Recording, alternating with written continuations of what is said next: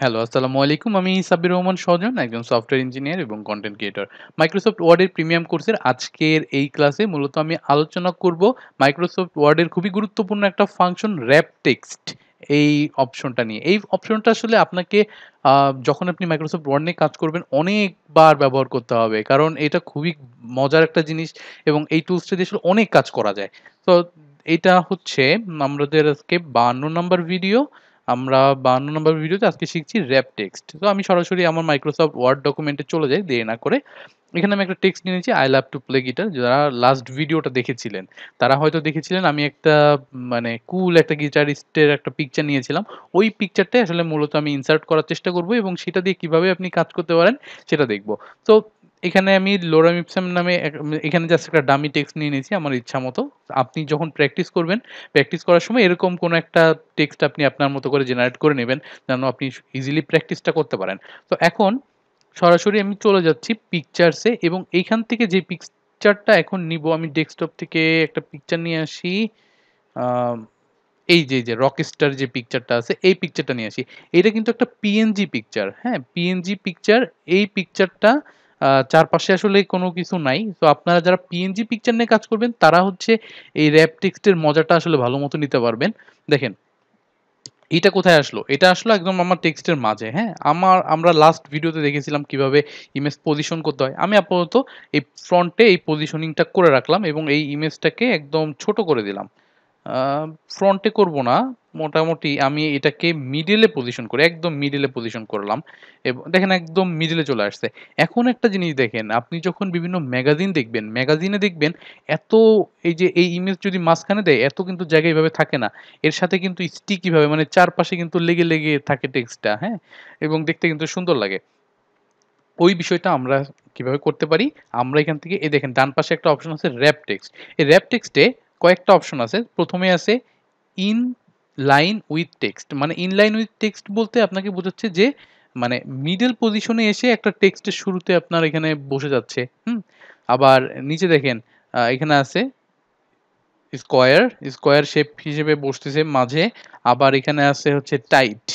টাইটটা একটু পরে দেখছি টাইট এটাই হচ্ছে আমাদের মেইন মানে মজা। তারপর হচ্ছে top and bottom. Top and bottom থেকে কিছুটা জায়গা ছেড়ে দিছে। এটা একদম মিডল পজিশনে এসে বসে আছে। ইন ফ্রন্ট অফ টেক্সট মানে এটা সব টেক্সটের উপরে দেখেন নিয়ে আসা যাচ্ছে এবং নাড়াচাড়া করা যাচ্ছে যেকোনো টেক্সটের উপরে। কিন্তু এইভাবে তো আসলে ব্যবহার করা যায় না। কারণ এইভাবে ব্যবহার করলে দেখা গেল আপনার পিছনে যে টেক্সট আছে ওটা আপনি গায়েব হয়ে গেছে, দেখতে পারবেন না। কিন্তু এটা অনেক সময় ব্যবহার করা হয় যখন আপনি বিভিন্ন সিগনেচার ব্যবহার করবেন আপনার টেক্সটের নিচে তখন কিন্তু এটা অনেক সময় ব্যবহার করা হয় এখান থেকে। তো আরেকটা আছে বিহাইন্ড টেক্সট।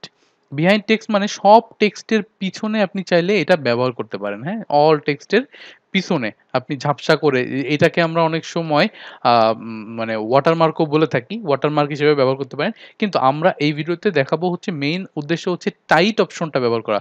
টাইট অপশনটা দিলে আপনার যে কাজটা হচ্ছে দেখেন এই যে আমরা বড়, বড় ম্যাগাজিনগুলোতে যে জিনিসটা দেখি যে ইমেজের চারপাশে যে টেক্সটটা আছে এটা একদম ইমেজের মতো করে আসলে মুভ করতেছে, হ্যাঁ? আমি যদি একদম কর্নারেও দেই দেখবেন ইমেজের মতো করেই কিন্তু আমার টেক্সটটা মুভ করতেছে। দেখেন, দেখছেন? এই ইমেজের মতো করে যেখানেই আমি সরাই না কেন এই ইমেজটার মতো করেই আমার টেক্সটটা মুভ করতেছে। এই যে। তো এটা কিন্তু অনেক কুল লাগে দেখতে এবং এই একদম এটা কিন্তু একদম প্রফেশনাল ম্যাগাজিন, ম্যাগাজিন একটা লুক কিন্তু চলে আসছে। দেখতে পাচ্ছেন? তো এই সেম জিনিসটা কিন্তু আমরা আমাদের বাংলাদেশের ম্যাপ যেটা আছে সেটাতেও ব্যবহার করতে পারব। আমরা এটা ডিলিট করে দিই এই ইমেজটা। এই ইমেজটা ডিলিট করে দিয়ে আমি আর একটা ইমেজ নিয়ে আসি। ইনসার্ট থেকে আমি পিকচারস অপশনে চলে গেলাম এবং বাংলাদেশের ম্যাপটা নিয়ে আসলাম। এটাও একটা পিএনজি ফাইল এবং এই পিএনজি ফাইলে আমি এখান থেকে র‍্যাপ টেক্সটে মিডল করে দিলাম। মিডল করে দিয়ে র‍্যাপ পজিশনটা মিডল করে দিয়ে র‍্যাপ টেক্সটে এসে এটাকে টাইট করে দিলাম। টাইট করে দিলে দেখেন, চারপাশে কিন্তু আমার টেক্সটটা টাইট অবস্থায় বসে গেছে। দাঁড়ান, আরেকটু সুন্দর করি। এই যে টাইট অবস্থায় বসে গেছে। তার মানে এই জিনিসগুলো সাধারণত দেখবেন আপনি বিভিন্ন বই থেকে শুরু করে ম্যাগাজিন বিভিন্ন জায়গায় কিন্তু ইমেজগুলো এইভাবেই কিন্তু ব্যবহার করা হয়। তো দেখেন এখন কিন্তু জিনিসটা বেশ প্রফেশনাল এবং খুব সুন্দর লাগছে দেখতে।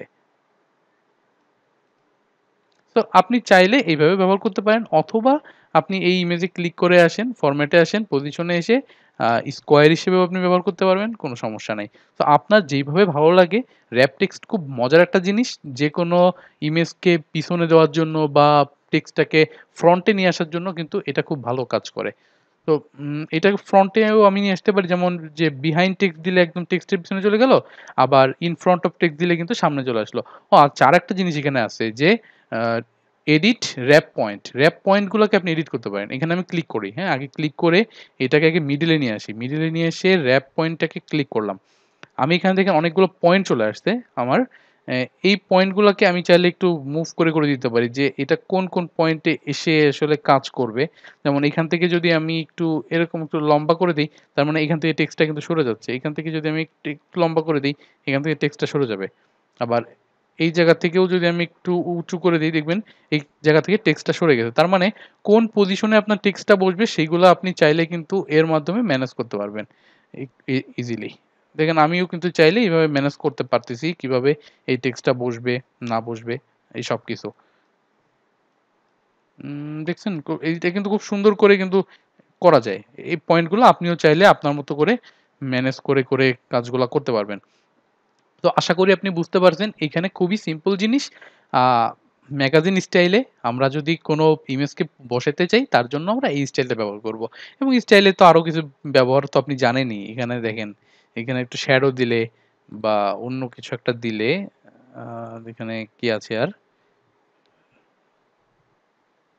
এই কোনটা দেওয়া যায়? এই শ্যাডোটা দিলে দেখেন একটু অন্যরকম একটা লুক আসতেছে।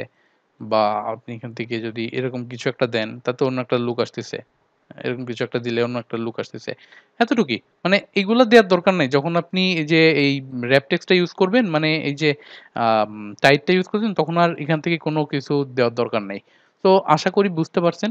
খুব মানে মজার একটা জিনিস। আমার এই পার্সোনালি এই ফাংশনটা কিন্তু আসলে খুব ভালো লাগে। যখন একটা বিভিন্ন প্রেজেন্টেশন দিতে যাই প্রেজেন্টেশন বানাতে যাই বা ডকুমেন্ট যখন বানাই, তখন কিন্তু এই অপশনগুলা একটা ডকুমেন্টকে অনেক বেশি প্রিমিয়াম করে তোলে। সো আজকের ভিডিওটা এই পর্যন্তই। নেক্সট ভিডিওতে দেখা হবে আপনার সাথে। আপনি বেশি বেশি প্র্যাকটিস করেন এবং নেক্সট ভিডিও দেখার আমন্ত্রণ জানাচ্ছি। Till then take care